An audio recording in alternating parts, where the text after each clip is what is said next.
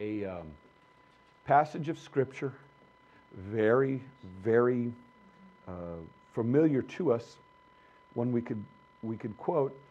It says in Matthew 121, And she shall bring forth a son, and thou shalt call his name Jesus, for he shall save his people from their sins.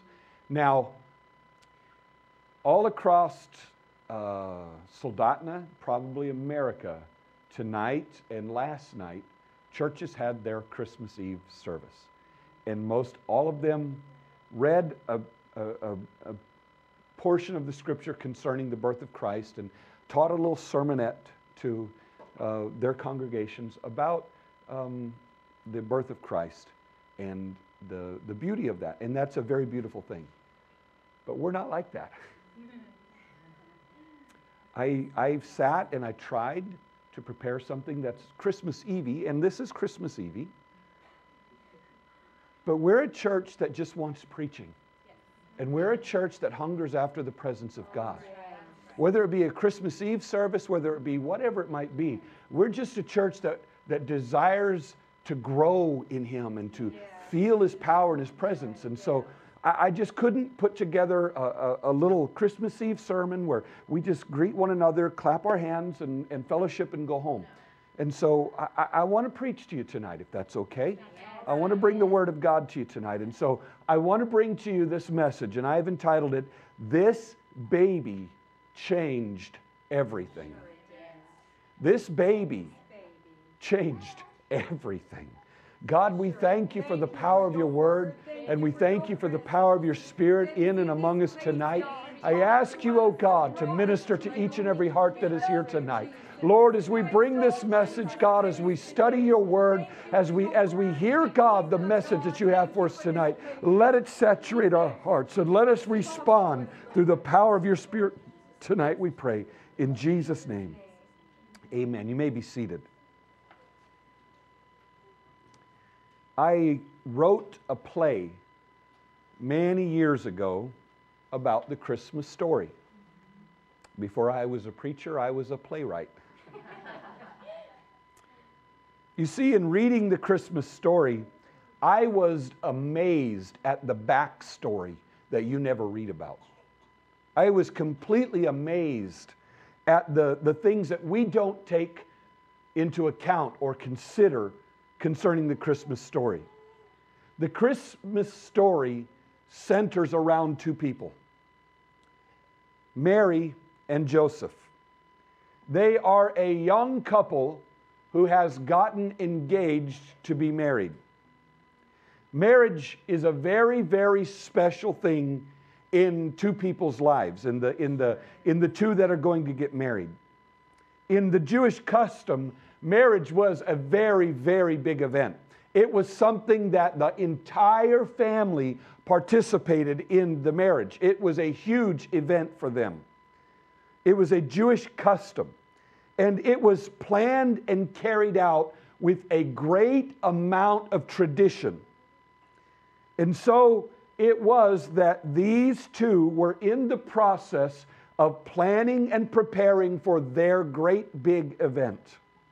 Mary had a lot of work to do before she could marry Joseph.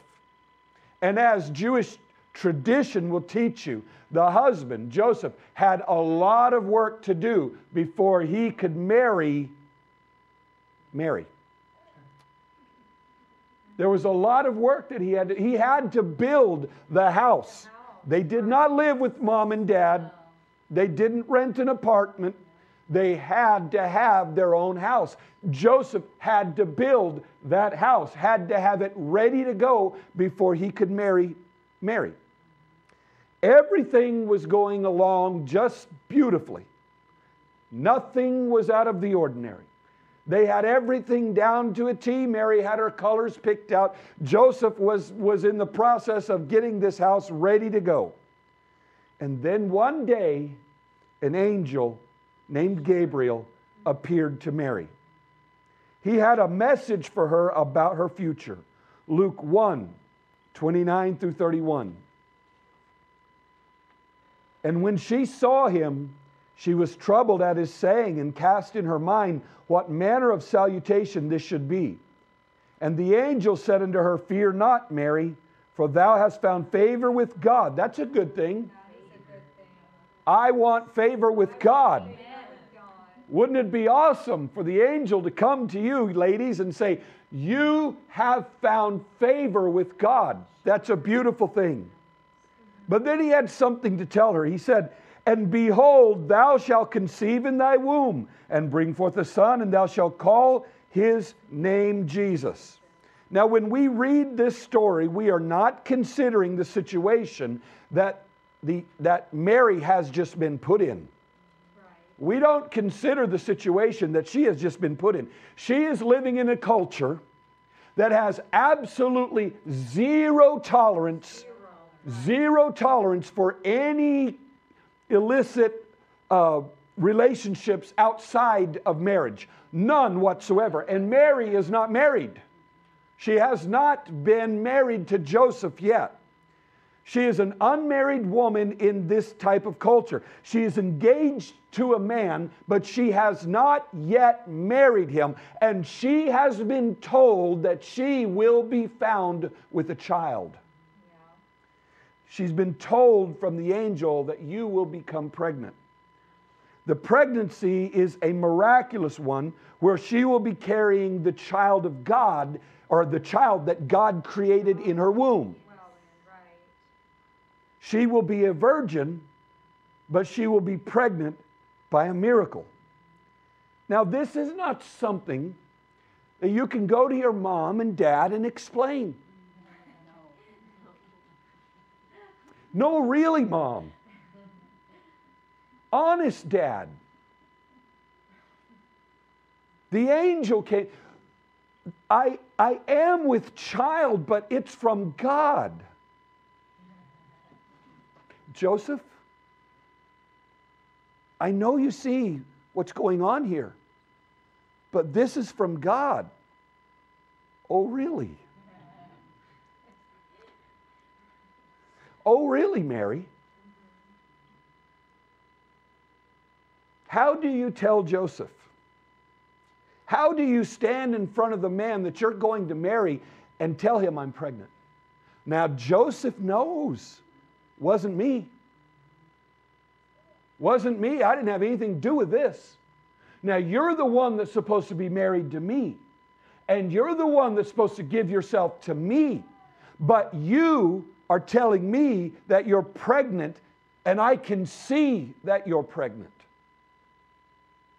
How does, how does she tell Joseph? When she did tell Joseph, he was absolutely furious. The Bible doesn't say, and Joseph flew off the handle and called Mary every name in the book. Doesn't say that. What it does say is that Joseph said, I'm going to put you away. I'm not going to marry you. Sorry, you did me wrong. You're supposed to be my bride. You're supposed to be the one that I marry. But, but I, I'm not going to marry you because of what you've done. Can you imagine what it was like to be Mary? At the moment that she tells Joseph, and Joseph looks at her in disgust and says, I'm not marrying you. What a predicament to be in. What a place for Mary to find herself in. Let me tell you something. This baby changed everything for Mary. It changed everything for her. It, it made such a dramatic difference in her life. We know the story of how God sent Gabriel to Joseph. Matthew 1 and verse 20 is the recording of this conversation between the angel and Joseph. It says, But while he thought on these things, behold, the angel of the Lord appeared unto him in a dream, saying, Joseph, thou son of David, fear not to take unto thee Mary thy wife, for that which is conceived in her is of the Holy Ghost. Joseph was convinced to take Mary as his wife. They were married, and then Jesus was born. But this child completely changed their lives. He was not planned by them. That was not the way they wanted to start their family. That was not the way they designed things to happen for themselves.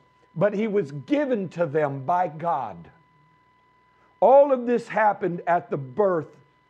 All of this that happened at his birth stood out in an amazing fashion. Everything that happened at his birth was so miraculous, it was so bathed in the supernatural. Angels from heaven came and spoke to shepherds and told the shepherds to go down into Bethlehem, and there they would find a child the king of the Jews that had been born. And they would find him in swaddling clothes and laid in a manger. And then they heard a voice from heaven, a, a, sound from heaven saying, Glory to God in the highest, peace on earth, goodwill towards men. The, the wise men saw a star in the east and they, and they saw and knew that the, a king had been born, a king of the Jews had been born. And they traveled from wherever it was they were from all the way to Jerusalem. Mary and Joseph were standing there when the, when the shepherds came in to see the child. They were there when the knock came or wherever they were at, when the wise men showed up and presented to them gifts. Could you imagine being Mary and Joseph and having all of these supernatural, miraculous things happen? You, have got a little baby. Brother uh, Mitchell, you've got this little baby in the hospital, and these strange people are showing up at the door, and they're bringing you gifts, and they're talking about the miracle of this child. Wow. I, I, I know that I was conceived of the Holy Ghost. I really just don't understand what all this is. They didn't know. Mary and Joseph had to get up in, out of Bethlehem and, and flee for their lives because Herod was trying to kill the baby. Everything absolutely changed when Jesus came into the life of Mary and Joseph. They were never the same again. They were never the same again. Their life was bathed in the supernatural constantly. They would forever be changed by the coming of Jesus into their lives. They were forever changed by Jesus. Jesus came for a purpose. There was a reason that God robed himself in flesh and came on the earth to us. He was called in the Bible Emmanuel which being interpreted means God with us. Wasn't a separate of the Godhead, a, a, uh, a third person. No, it was God Almighty robed in flesh. God had a specific plan that He would accomplish through the life of Jesus Christ. The Bible says that the purpose of his coming, that we read in our opening scripture, was to seek and to save that which was lost. He came to save his people from their sins. He came to seek and to save that which was lost. His entire mission was this cause. He spent his entire ministry in his life doing this one thing to seek and save those that were lost. Seeking the lost was not a hard thing to do. It Wasn't like he had to go on an Easter egg hunt and try to find the lost among all of the people. My friend, they were all lost. When Jesus came to Jerusalem and he began his ministry, every person that he came to needed salvation. Every person that he came to needed this gospel, and he came to reach those people with this gospel. He came to give them the truth of his word and the, and the hope of salvation for their life. We find people that were everywhere around him. People with so much in their lives that had, had destroyed, had, had, had destroyed their lives. There, there were people in such great need wherever Jesus went. Jesus found the multitudes of people that were lost. He found the religious leaders that were lost, that were completely wrapped in their self righteousness. They thought that they were righteous. They thought that they were good men. They thought that they were the leaders that should teach all men how to live. But Jesus exposed them as being self righteous bigots. We find that, that Jesus found people that were ill that were all around him lepers that were in need of healing blind people that, that needed their sight there were the lame people that could not walk that jesus found all around him it, it didn't matter where he went right. there were people always, always always in need. There were people always, always that he had, had to touch, had to help, had to give the, the, the things that were necessary for them. There were endless lost around him. Seeking the, seeking the lost was one thing, but he came to save them. He could find the lost everywhere, but he came to save them, not to leave them in the same situation that he found them in. He came to make a difference in people's life. His purpose was to give them hope where they had no hope, to save them, not just physically. it's a good thing.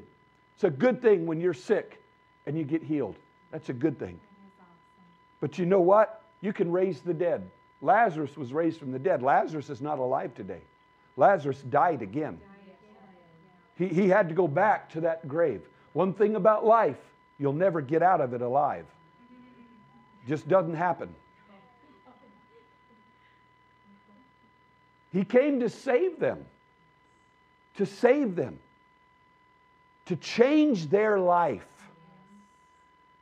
His time was spent changing the lives of people. Every person who came in contact with him was forever changed. They never walked away from Jesus the same after their encounter. The Pharisees and the Sadducees, these men that were supposed to know him, they were the ones that knew the Word of God and should have recognized him as the Messiah. These Pharisees were never the same after they met Jesus. Never. Every one of them were changed in every way when they met Jesus. They either loved him or they hated him. Right. They either found the truth of his words or they despised him with everything that they had. But they were never, ever the same because Jesus exposed them as they were. He exposed the self righteousness in them. He showed them that the cup on the outside was clean, but it was very filthy on the inside. He told them and showed them of all of the things that they were doing wrong, and he exposed them time after time after time after time. Yet in all of their hatred and their disdain, they were never the same. John 12, 42. It says, Nevertheless, among the chief rulers also many believed on him. But because of the Pharisees, they did not confess him, lest they should, should be put out of the synagogue. He changed these people that were the Pharisees. He changed these men. Nicodemus was one of the rulers that came to Jesus by night. Nicodemus came and, and, and sought the body of Jesus Christ. There were many that were in the rulers, many of those that were scribes and Pharisees and, and, and Sadducees that Jesus changed their life. They turned and, and believed in him. They wouldn't confess him openly because they were afraid of being cast out of the synagogue. But my friend, there had to come a day when they made that decision and they got themselves cast out of the synagogue. Because of their encounter with Jesus, they were never the same. Countless times in the Bible, people have had their lives radically changed by Jesus. The woman at the well had her life completely changed by Jesus. We don't know the story of this woman. We can only look at where she was at the time that she was there and, and, and, and realize that there was a, a, a, a shame that was brought on her life. And Jesus exposes to her the fact that she has been married many times and that the man that she is with right now is not her husband. Did Jesus condemn her? No. Jesus brought to her the truth of the Word of God. He said to this woman, I that speak unto thee am He, the Messiah I am the one that should come. I am the Messiah. The Bible says that in that short period of time that Jesus spoke to this woman, he so affected her life. There was something about his words, there was something about his countenance, there was something about him that in a very short period of time that Jesus would speak with, with her, he would change her life so much that she would go throughout the city of Samaria and tell all of the people, You've got to come and see a man that told told me everything about my life. Could you imagine today Jesus in the city of Soldotna speaking to somebody that, that had a hard life and telling them about the mercy and grace of his love to change their life? That person going around into Beemun's and opening the door. Come on, everybody. You've got to come and see a man going into Fred Meyer's and screaming as loud as they can. You've got to come and see this man going to every business, going into the schools, going into the town council, into the city hall, and saying, You've got to come see this man. You see, he so radically changed her. Zacchaeus was a man that, that, that, that was hated by everybody. He was a tax collector. My friend, I'm not really big on tax collectors myself. I'm sorry, Brother Aaron, I know that you were there one time, eh, but, but you've been converted. Praise Jesus. But most people don't like tax collectors. They just don't like, ta- and, and in that day especially, in our day, tax collectors have to live by certain rules. In that day, they didn't. They could just go levy a tax. Okay, you've got a tax and you've got a tax, but but I really don't like you, and so you're going to. I'm going to tax you a little bit more, and I'm going to tax you a little bit more because I don't like the way you talk to me and the way that you looked at me. I can get a little bit more, and so he would he would go and steal from people. That's what he was doing. He was going around stealing from people, and he was hated. Yes, and Jesus walked up to him one day and said, Zacchaeus, I've got to eat at your house today. I've got to go eat at your house. We're talking about a man that had no way of ever having his life changed. You're talking about a man that was so steeped in greed and so steeped in anger. Right. He was so steeped in all of the things that were upon him that, that his life was completely completely wound up in that power trip that he had, wound up in the hatred that he had for people and the people had for him. You talk about a man that is lost, and Jesus steps into his life and says, Zacchaeus, I'm going to go eat with you today. Went to his house, and this is what Zacchaeus had to say to Jesus. Luke 19, verses 8 and 9. And Zacchaeus stood and said unto the Lord, Behold, Lord, the half of my goods I give to the poor. And if I have taken anything from any man by false accusation, I restore it to him fourfold. And Jesus said unto him, This day is salvation come into this house, for as much as he is also a son of Abraham. Jesus said, or Zacchaeus said to Jesus, I will take half of my good. Could you imagine He's a very wealthy man. He's got a lot of money. He's got a lot of things. And he says, I will take half of everything. I'm going to take half of my 401k. I'm going to take half of the value of my home. I'm going to take half of the cars that I own. I'm going to take half of the snow machines, half of all of my motorhomes, half of everything that I've got, half of all of my cattle, half of all of my sheep, half of all of my gold, half of all of my wealth. I'm going to take half of everything and I'm going to go give it to the poor. You're talking about a man that was so consumed consumed by greed that in one encounter with Jesus, it changed him. So he was willing to give it all up. It doesn't matter to me, Jesus. It, the, the wealth doesn't count to me anymore. I am not after money. I'm not after these things. I care about people. I'll give it to the poor. And if I have if I have defrauded any man, if I've taken more from you in taxes than I ought to take, then from the half that I have left, I'll give fourfold to those that I've cheated throughout my life. You're talking about a man in a very short time. One dinner meal with Jesus changed his life. It changed his life. Over and over again, this happens in the Bible. Multitudes of people are being changed through the encounter with Jesus. They are healed and they're returned back to normal life. They are raised from the dead. They are given words or, uh, uh, of life on a mountainside. They, they have their sins forgiven and they are told that they can go and sin no more. But we have to understand that Jesus is not a historical figure. No, no. Jesus is not like, um, like one of the kings that lived. He, he, he's not like a, a, a, a, ruler that, that, that you could go into your history book and find. He, he's not a, a, a, a, a um, historical figure. That's not to say that he wasn't real. Don't misunderstand what I'm trying to say. You can look in historical figures and you can find that he was real. But what I'm saying is, he's not just something in history. He's just not something in the past. Jesus is not someone who lived in the past and had an impact on mankind.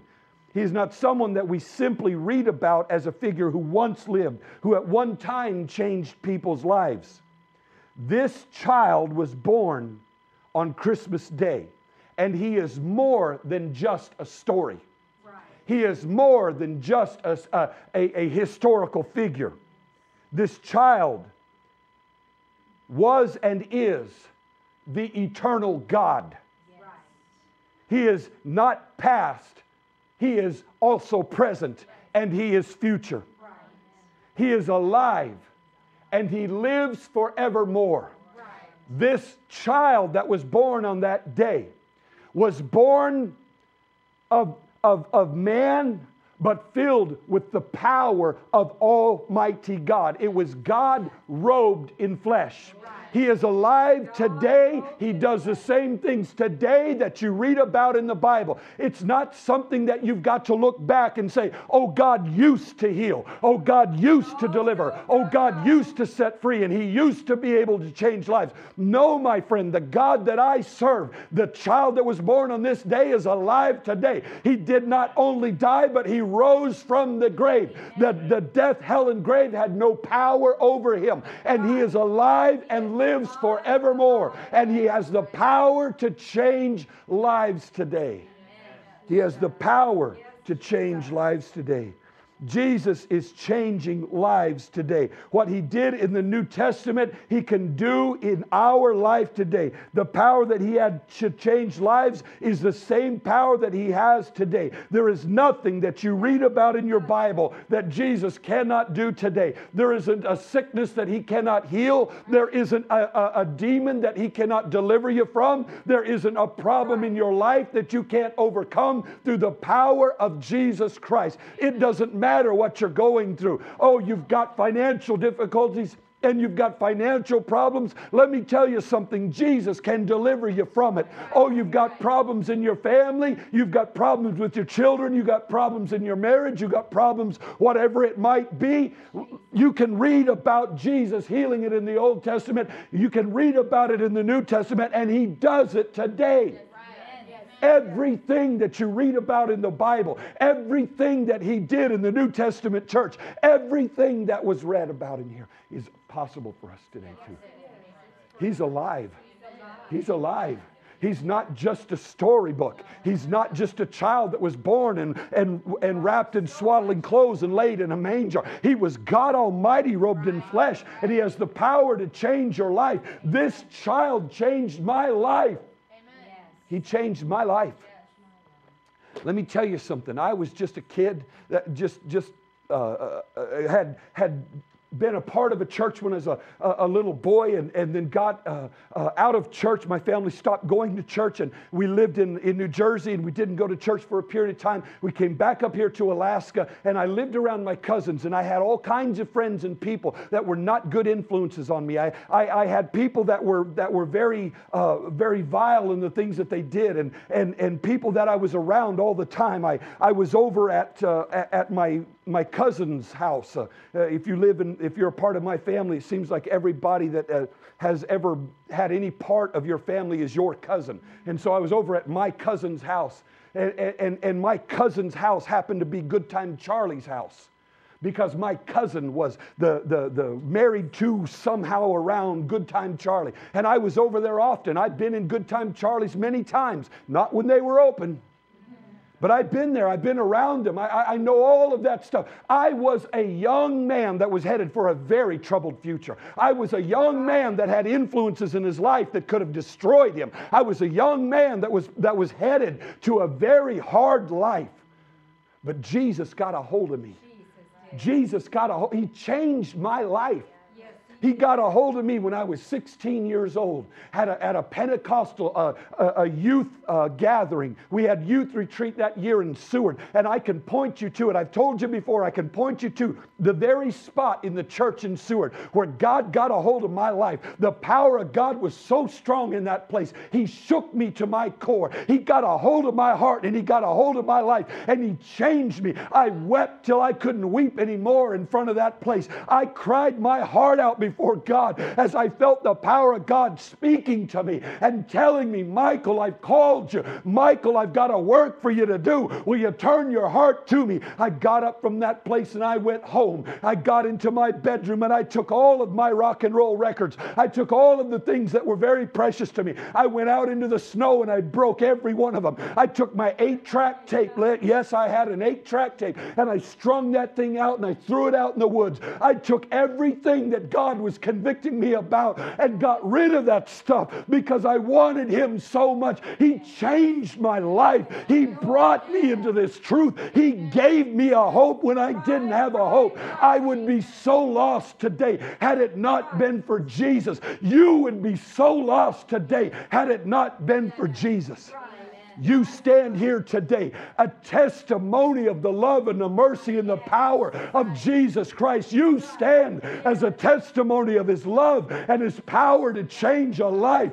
When Jesus comes into your life, you're never the same Tom. You're not the same person that I met, that young man, when my daughter first started dating you. I saw you and I saw a young man that knew nothing about Jesus, but he got into your heart and he got into your life. And I'll never forget this service when your hands went up for the first time and tears came down your eyes and God got a hold of you and He changed you. You're not the same because this God has the power to change your life. I can never forget, Brandon, when your brother called me and he told me, My brother's talking to me about God. I never dreamed that he'd ever talk to me about God, but he's asking questions now. And I need you to pray for Brandon because I believe that God's working in his life. It wasn't but a very short time thereafter that you came to this church and you Uh, we got the baptismal tank out and we filled it up right here, right in this very spot, right here. And we baptized you in the precious name of Jesus. And we baptized your very soon to be wife in the precious name of Jesus. And we baptized your little girl right there. And God filled you both with the power of the Holy Ghost. It wasn't me that touched you, it wasn't me that got into your life. It was Jesus that changed you.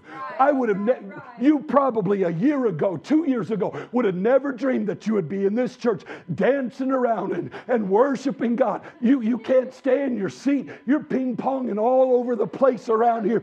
That's the power of God. That's not me that does it. It's not the beat of the drum. It's not the song. It's the love of God that He's come into your life. He changes you.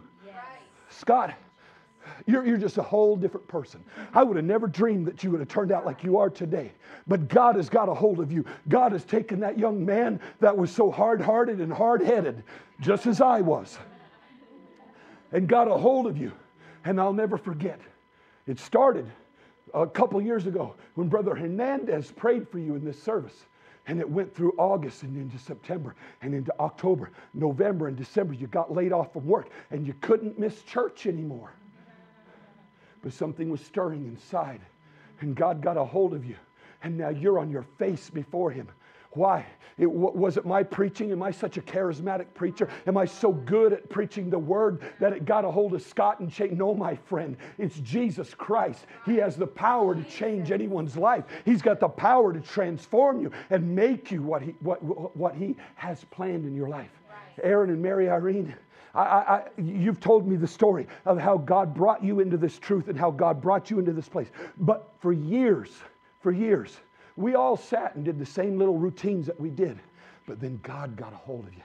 And I've watched God change both of you so much. I've seen Aaron and I've seen Mary Irene. I've seen how God has gotten into your family and has got a hold of you. And all of the things that were in your life have gone away. You've cleansed the house, you've moved the things out, and God has purified your life. And He's brought you, and you're constantly on your face before His throne. And, and God has moved in every one of our lives. Heather, God got a hold of you. I'll never forget the first time you walked into the church service. You were only going to be there one service service.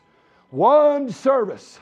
That's it. I'm going to come one time to prove to him that I'll be here for one service. But in that one service, right, But in that one time, the power of the God moved on you, and you begin to speak with other tongues as the Spirit of God gave you utterance, and He changed you. And I'll never forget both of your little girls being filled with the power of the Holy Ghost. I still got the pictures on my computer of baptizing them in the name of Jesus Christ. I got my picture right standing next to them with their Holy Ghost and their baptismal certificates. My friend, it's the power of God that changes your life.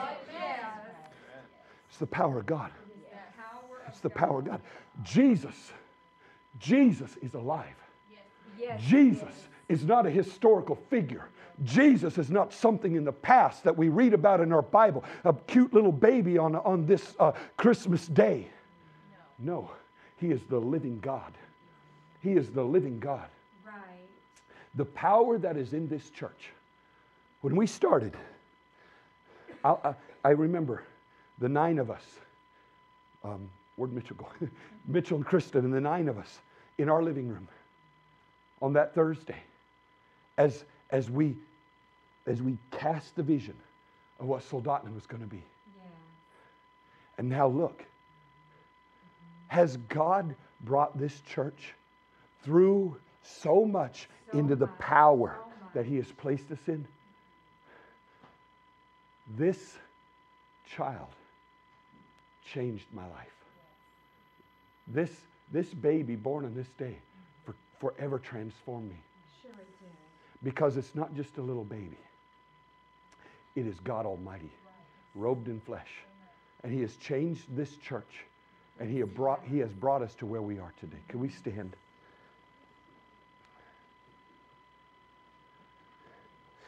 I've gotten way off my notes. That's okay.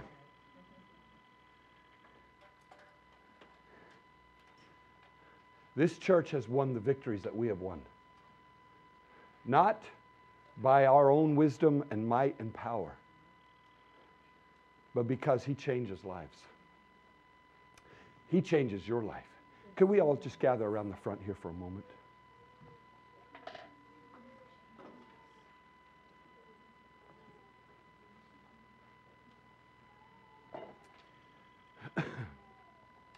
And so the world comes to say that all of these beautiful little children, all, all, of, all of these kids, he want, hell wants to take them. Angela, I just can't remember the names. Josue, all of our kids. Ariel, Shalia, every one of them. Hell has designs on them. But you know, the Bible says, Greater is he that is in me than he that is in the world. What God can do in these children's life is amazing. Because I believe that standing among us are preachers, pastors' wives, evangelists, missionaries, missionary wives. I believe that going forth from this church will be a multitude, a multitude of workers for his kingdom. And that God can change any life. He changed us, He gave us hope. I had no hope. Rachel, you had no hope. Elise, you had no hope. Julianne, there's no hope out there. Amanda, we have no hope. Jonathan, raised in this church, raised around this all your life. There comes a point when you have to make a decision for yourself that what I've been taught all my life is something that I'm going to use and I'm going to commit my heart to it. I don't know where you are in your life and I don't know what you've gone through. This is a battle that we go through every day. Hell attacks, hell comes against us. We, we face these things and we go through these issues. They tried to kill Jesus when he was a baby. He, he faced all kinds of obstacles and situations and circumstances, but there wasn't one time, wasn't one time he was ever defeated. And you'll never find the church ever defeated. Never. Why? Because He changes our life. There's a determination, a determination in every one of us. There's a determination in our hearts, a determination in our spirits that I will never walk away from this. I will never turn from Him because He changed my life. He changed my life. Jesus is still changing life. He is still moving in people. All because He has the power to change anyone. Whatever you need, wherever you are in your heart, wherever you are in your life, right now, God can change that situation. God can turn the situation that you're in from defeat to victory. God can help you in the struggles that you and I go through. God can give you the victory that you need. Could we just raise our hands? Just open our hearts. If He has changed your life, can you just love Him here tonight? If He's gotten a hold of you and turned you around and made you what you are today, could you just thank Him for what He has done? Could we just praise Him in this day? If you're in need of deliverance in your life, if you're in need of help, if you're in need of hope, tonight's your night of deliverance. Can we worship Him right now?